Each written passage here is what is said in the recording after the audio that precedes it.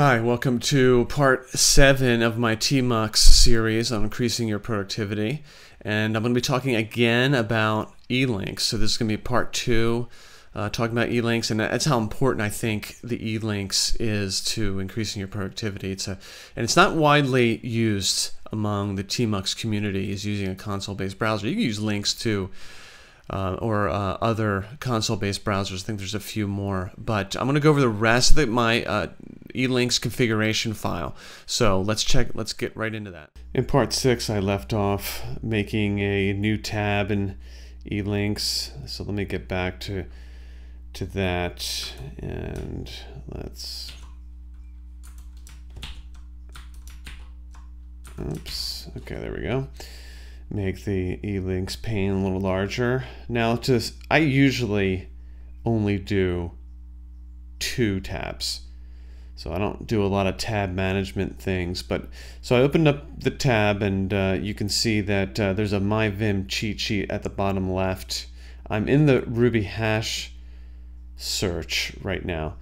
Now to go to back to My Vim cheat sheet, which is the other tab, I use the caret key left and then caret key right goes me back gets me back to that tab. I think you're going to find that two tabs is adequate and so that'll conclude uh, the instruction on tabs.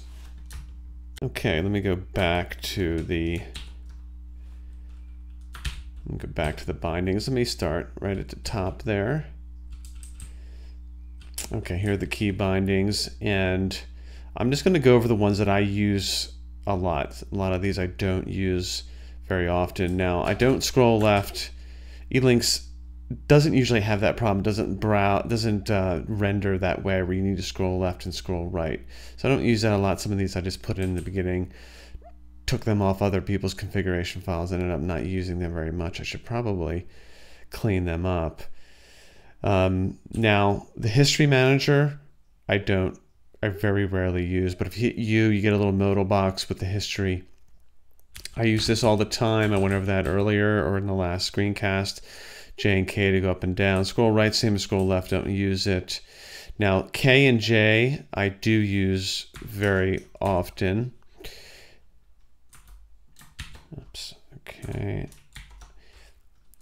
And how that works is I'm here now in the left pane and you see that Ruby hash is highlighted. Now if I use uppercase J, I go to the next link. Next link, J, uppercase J. I'm keep going down these links. I go up the links with capital K. Um, yeah, I can't say much more than I just, I do use that very often. So let's continue on with these I'm back in the right pane now. And the space, this is to go down a page. I'm going to go back over here to the left pane and I'm going to use the space key now and I'm going down the page. So let's continue on. The next one here is Vim bindings or similar Vim bindings for going to the top of a document or to the bottom. So I do lowercase g, I go to the top, uppercase G, I go to the bottom of the document. So if you're a Vim user, I do use that one quite often. Let's go back. There's a, a mapping for reloading the page, a binding. Let me center this. And I don't use that one often. These next two I do use a lot, as I mentioned in last screencast uh, having uh, the go-to URL you use all the time. So I'm going to hit lowercase o and I get this modal box.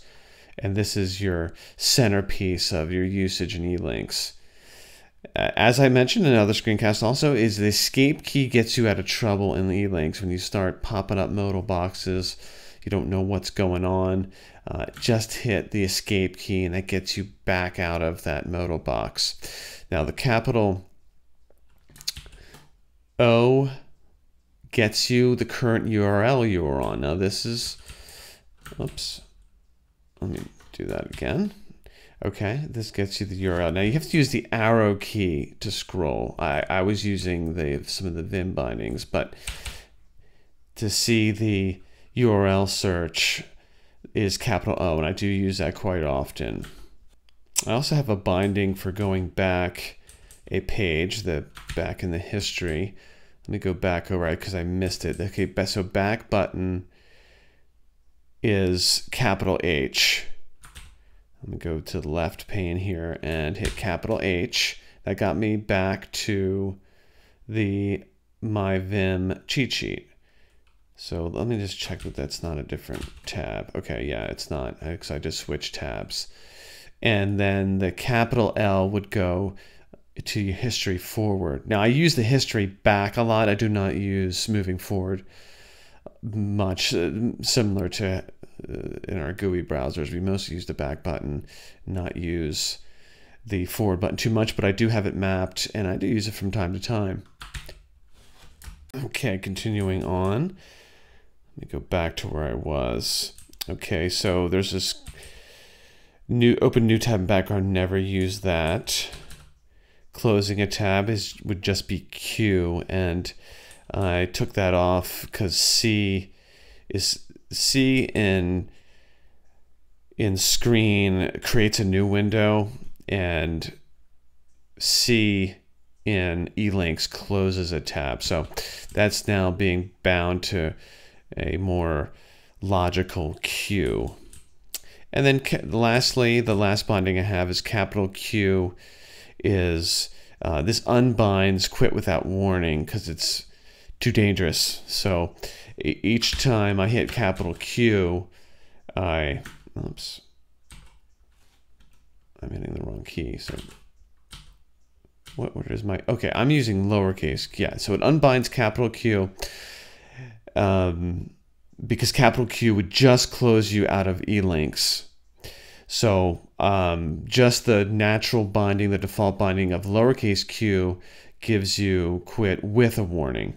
And this is very useful because you do tend to hit the Q button and, and capital Q button, and you don't want to close out of links if you're in the middle of doing something, of course. Okay, that does it for my bindings to, I'll have this link in the article, but there's a good man page on the default bindings for elinks.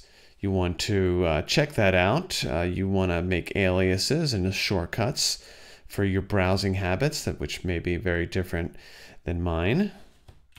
Well, that does it. I've gone over the way I use elinks in T within Tmux, and I've gone over my entire elinks file and, and I've exhausted the way I, I, use it anyway and you may find uh, new ways to help your uh, reduce your context switching. And that's what I encourage if you're not using elinks is to invest the time into using the console-based browser for certain things or as many things as you can because it has helped me stay focused on my task.